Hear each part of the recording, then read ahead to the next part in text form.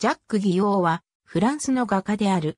風景画やジュール・デティエと共作で1870年のパリ、包囲戦中のパリの情景を描いた作品を残した。フランス南部、サボア県のシャンベーリで生まれた。父親は俳優で父親の公演中のシャンベリで生まれた。風景画家のルエティエンヌ・ワトレや歴史画家のレオン・コニエに学び、バルビゾン派の画家、ジュール・デュプレの影響も受けた。7月王政の時代の1834年に、ベルサイユ宮殿の装飾画を描く依頼を受け、国王ルイ・フィリップに作品を買い上げられた。1831年からサロン・ド・パリに毎年出展し何度か入選をした。1836年にイタリアを旅するなど国外を何度も旅した。7月王政が倒れる少し前の1847年にニースに住むようになり、ニースでは多くの画家を教えた。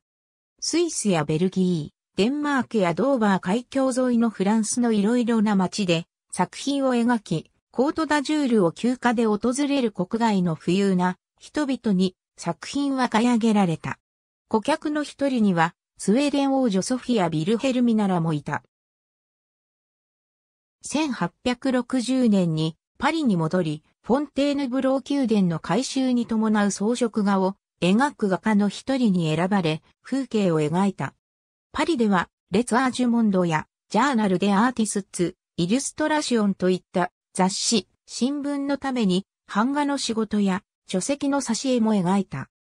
1820年から1878年にかけて出版され、テーラー男爵が執筆、編集し、多くの画家が版画を制作したた、大著、ボイジズ・ピーター・スックイ・ローモンテク・ダンエル・アンシエーヌ、フランスの版画制作者の一人になった。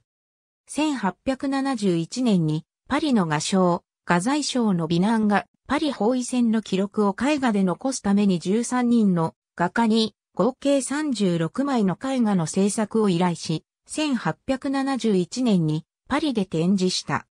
このラスイート・ビノントと呼ばれる作品群に擬王もジュール・デティエと共作で多くの作品を制作した。パリのカルナバレ博物館に一部の作品が残されている。ありがとうございます。